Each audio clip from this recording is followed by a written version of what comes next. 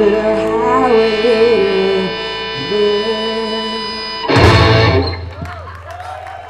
North on vocals. Thank you. Sub North, yeah.